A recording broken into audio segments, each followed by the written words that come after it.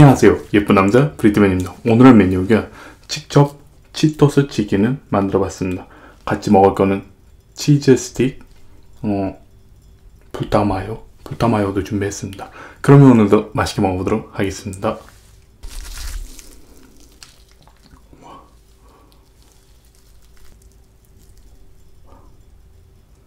비스밀라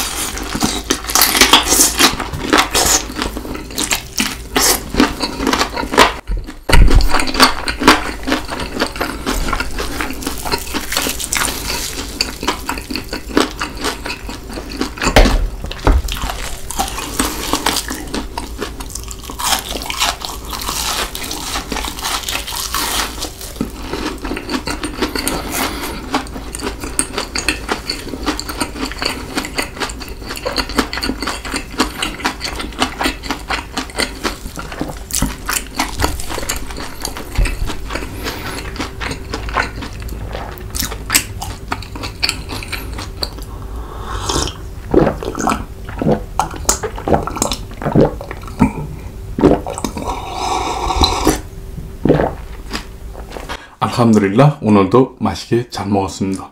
아 이번에는 치킨이 대박 맛있고 치즈 스틱도 엄청 잘 됐어요. 네 항상 행복하세요. 안녕.